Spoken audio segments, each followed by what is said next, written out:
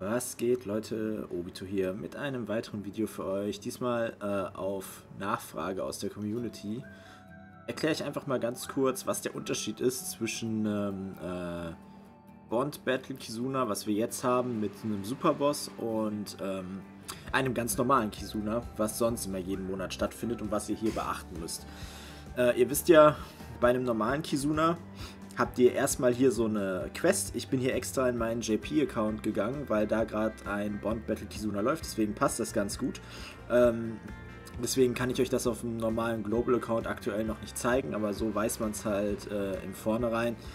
Und ja, ihr seht hier ganz normal vorne diese 2-Sterne-Quest. Das ist die Quest, wo ihr mit eurer ganz normalen Stamina, die sich täglich äh, wieder auffüllt, diese Kizuna-Tokens bekommt, mit denen ihr überhaupt die normalen Kizuna-Stages spielen könnt. Das bedeutet, ihr würdet hier reingehen in diese Quest und ähm, könntet die dann spielen und danach könntet ihr die jeden Tag mit Autoplay einfach clearen und kriegt dann die Tokens, mit denen ihr die normalen drei Stages spielen könnt. Das bedeutet diese Stage, diese Stage und diese Stage. Das sind die normalen Kizuna Stages in den verschiedenen Schwierigkeiten, so wie es beim normalen Kizuna auch ist. So, jetzt ist es wichtig, ähm, Sabo Ace ist in diesem Kizuna bei uns der einzige Ticket Booster und auch der Super Boss Token Booster. Was bedeutet das? Im Endeffekt bedeutet das, wenn ihr Sabo Ace im Team habt und ihr diese normale Stage spielt, ihr solltet am besten die 10 Sterne Stage spielen, weil die halt einfach am meisten Tickets und am meisten Tokens bringt. Ähm, wird Sabo Ace da diese Tickets und diese Tokens vermultiplizieren. Ich weiß jetzt nicht ganz auswendig äh, mit wie viel, aber wahrscheinlich irgendwie so 1,9 oder sowas. Bin ich mir jetzt gerade nicht ganz sicher.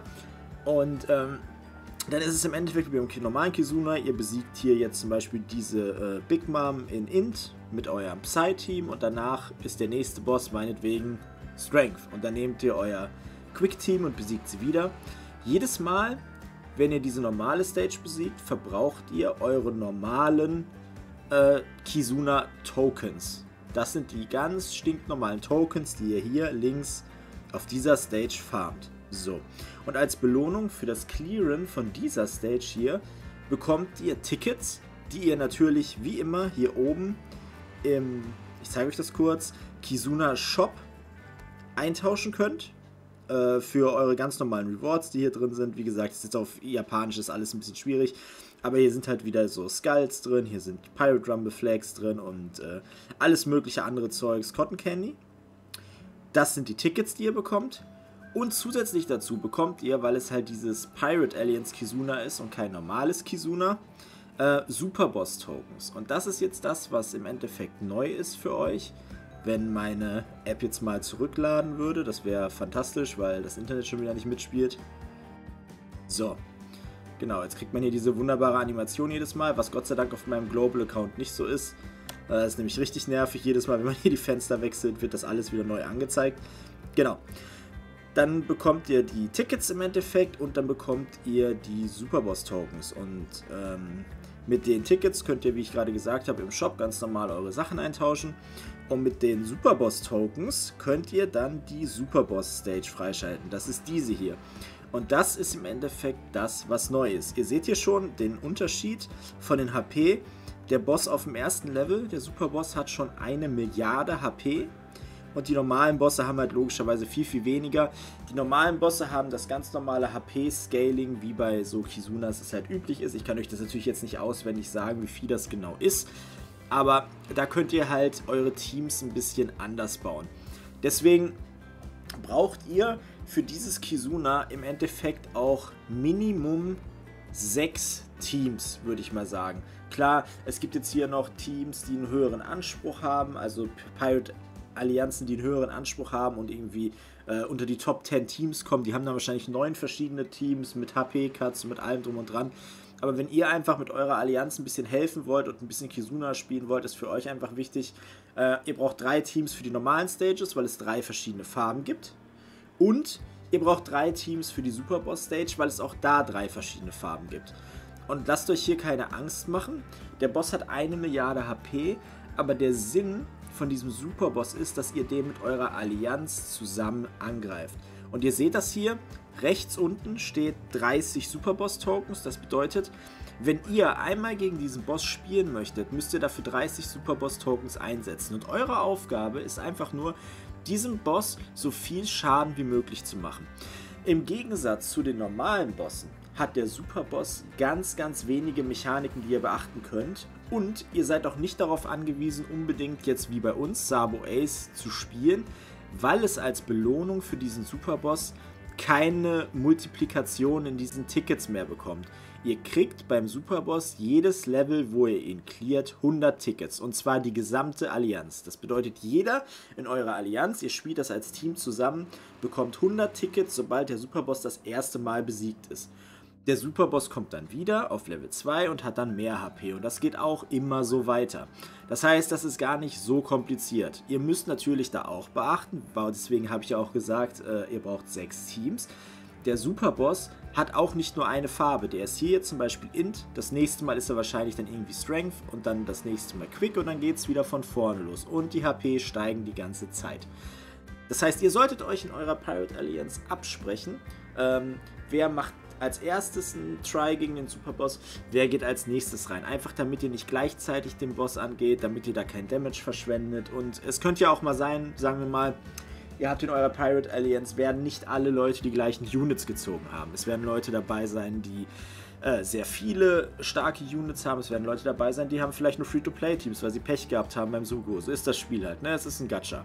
Und dann äh, könnt ihr euch ja absprechen, sagen wir mal, der eine hat ein Team, das macht 800 Millionen und dann ist jemand dabei, der macht 300 Millionen. Ähm, ihr sammelt ja eure Super Boss Tokens von diesen Stages trotzdem nur für euch selber. So, ihr könnt die nicht gemeinsam in der Allianz verteilen und dann einfach den einen mit den besseren Units alle Tries machen lassen. Das funktioniert nicht. Ihr müsst eure eigenen Superboss Tokens benutzen. Und das bedeutet im Endeffekt, jetzt bei diesem Beispiel, sagen wir, es fängt einer an mit seinen 800 Millionen, dann hat der Superboss in diesem Fall ja nur noch 200 Millionen HP übrig. Dann würde es ja keinen Sinn machen, wenn derjenige nochmal reingeht, weil dieser Overkill-Damage äh, wird nicht auf die nächste Stufe angerechnet. Er würde einfach 600 Millionen zu viel machen. Da würde es dann Sinn machen, wenn ihr euch in eurer Allianz absprecht und ihr halt im Endeffekt einfach eurem Kumpel sagt, ey du, hör mal, äh, du machst ja nur 300 Millionen, mach den mal fertig, den Boss. Beende den mal. Und dann kann auf Level 2 wieder jemand reingehen, der mehr Schaden macht. Und so solltet ihr euch bei der Allianz einfach absprechen, damit ihr da einfach eine Sicherheit habt und damit ihr halt da äh, nicht Schaden verschwendet. Und denkt einfach dran, das ist ein, ein Teamspiel, ihr spielt hier für alle zusammen. Klar, ihr sammelt hier ganz normal hier eure eigenen Tickets. Wenn ihr selber wieder vorhabt, mehr Assists zu machen und so weiter, dann kriegt ihr auch mehr Tickets und das ist dann halt für euch selber gut. Es gibt natürlich auch ein eigenes persönliches Bounty-Ranking nur für euch. Aber es gibt auch zwei Bounty-Rankings, die nur für den Teamzusammenhalt gerechnet werden. Die kann ich jetzt leider nicht einsehen. Ihr seht hier rechts diese, diese Schlösser davor. Ich, äh, das ist hier einfach nur so ein Pull-Account auf JP und ein Account, den ich im Endeffekt benutze, um Sachen zu erklären und äh, das kann ich jetzt leider nicht, leider nicht einsehen. Da könntet ihr normalerweise jetzt die Rangliste einsehen, wo ihr steht, was es für Rewards gibt und alles drum und dran. Kann ich jetzt leider nicht. Ich gucke jetzt mal, was das hier jetzt nochmal für ein Knopf ist. Äh, ah, okay. Doch, die Rangliste kann man also einsehen. Das war also doch ein anderer Knopf. Ja, entschuldigt bitte. Das ist, wie gesagt, auf Japanisch. Ich, ich kann nur mutmaßen, ähm, wo was ist. Aber hier zum Beispiel könnt ihr dann ähm, die verschiedenen Rankings jetzt, glaube ich, einsehen, wenn ich das richtig sehe. Genau. Und hier links ist es ausgegraut für mich. Also ich habe jetzt keinen Plan, aber das, das ist auf jeden Fall so der Tab, wo man ein bisschen die Rankings sehen kann. Ah, und hier könnt ihr sehen, was es an Rewards gibt. Hier könnt ihr nämlich auch einsehen, ähm, was ihr alles bekommt. Das hier wird wahrscheinlich irgendwie das persönliche Ranking sein. Und da seht ihr halt, da kriegen die ersten halt 30, 30 Gems und zwei Tickets. Und dann gibt es hier noch ein Ranking mit 30 Gems und Bounty und allem drum und dran. Und dann gibt es halt natürlich auch noch ein persönliches äh, Ranking, wo es auch nochmal 30 Gems zu holen gibt für die höchsten Ränge. So, ich weiß jetzt nicht, was zu was gehört. Wie gesagt, seht mir das nach. Ich kann kein Japanisch, aber für euch ist einfach wichtig, dass ihr wisst, dass ihr das hier im Team zusammenspielen müsst. Das ist kein äh, Singleplayer. Dieses Allianzsystem hat einfach den Sinn, nicht egoistisch zu sein, versuchen sich vernünftig abzusprechen und ja, selbst wenn ihr nur eine Allianz seid mit Casual-Leuten, die nicht so viel spielen, äh, versucht einfach das Beste daraus zu machen. Ich hoffe, ich konnte euch das ein bisschen, äh, bisschen erklären. Ähm, Im Endeffekt ist es das auch schon alles. Das sind halt die, die wichtigsten Sachen. Für euch ist halt, wie gesagt, wichtig, kurz zusammengefasst, ihr braucht drei Teams für die 10-Star Difficulty, ihr braucht drei verschiedene Teams für die 15-Star Difficulty. Die 15-Star Difficulty hat weniger Mechaniken, das heißt, es erlaubt mehr High-Damage-Teams, die ihr einfach bauen könnt. Und ihr kriegt in der 10-Star Difficulty Superboss Tokens und Tickets, die von Sabo Ace multipliziert werden. Deswegen müsst ihr in den Teams am besten, wenn ihr Sabo Ace habt, ihn noch als Captain spielen und zweimal drin haben. Und bei der 15 Star Difficulty ist das völlig irrelevant, denn da bekommt die gesamte Pirate Alliance auf jedem Level 100 Tickets fest zugeschrieben. Und für jede Punkt HP, den mit dem Superboss abzieht, steigt ihr im Pirate Alliance Ranking mit den anderen Pirate Allianzen. Trotzdem könnt ihr für euren Singleplayer-Part, wenn ihr selber jemand seid, der ein bisschen mehr spielen möchte, Assists clearen ohne Ende. Ihr könnt auch mehr Potions benutzen, um äh, noch mehr Stamina zu bekommen und könnt somit auch noch mehr Tickets farmen für euch selber, wenn ihr das möchtet.